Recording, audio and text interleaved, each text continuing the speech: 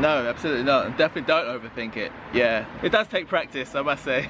it's destructive to do so. It can be destroying to allow those things to affect you, to allow those, you know, people's negative opinions and negative ideas to, to influence you, your thoughts about yourself. That can be most detrimental of all. I think over time it's easier dealing with building yourself up in a way that doesn't uh, allow it to penetrate you in a way that makes you think negatively about yourself or your work or what you're pursuing in life. I think that over over the long term is an easier thing to, to build up, you know, that resistance against negativity. I think that's easier than dealing with uh, the effects of, you know, being soul destroyed by people's opinions of you. Realizing that you allowed outside forces to affect you and, and, your opinions about your work and what you already know to change your mind.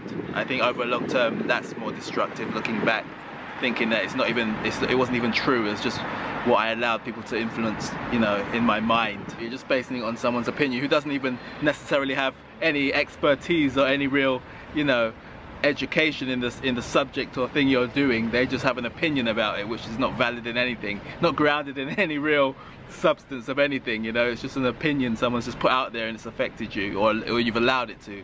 And then looking back when the time has passed I think that can be more destroying to you than you know just dismissing it. As, as, as just what it is an opinion that that stands on nothing. Someone I grew up listening to called Tony Robbins or Anthony Robbins if you like um, talks about standing guard at the door of your mind how important that is to uh, protect yourself against that because there's going to be the naysayers, there's going to be negative people, there's going to be people who talk you down and tell you you can't do it or it's not good enough and this standing guard at the door of your, your own mind is, is protecting you against that.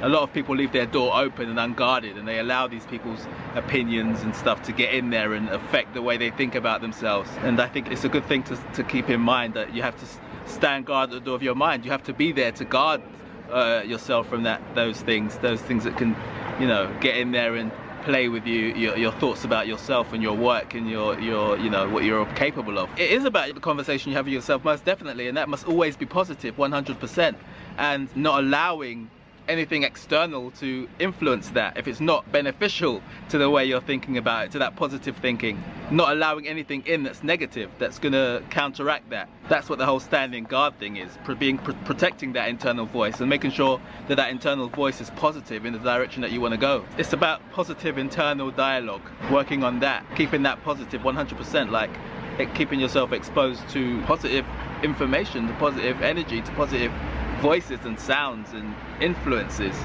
and shutting out everything that opposes those. Being in control of that dialogue, what you let in. It's not easy to do, it's very hard, it's difficult, it takes practice, but what's more difficult is dealing with the fact that, wow, look what's happened, I've let all this negativity or outside external forces and elements and voices affect me and it stopped me from doing what I knew was right and I wanted to do and I could have succeeded in if I just had shut that door and kept them out and told myself what I already know that I can do this, I'm capable and I can achieve this and I'm good enough as I am.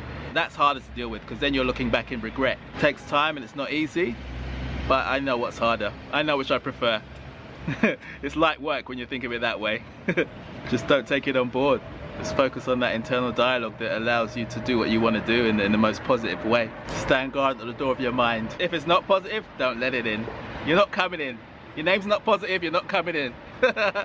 Over time it gets stronger and stronger and stronger and easy to do until the, the point where it becomes automatic. You see it from a distance. Just only let in the positive stuff, man.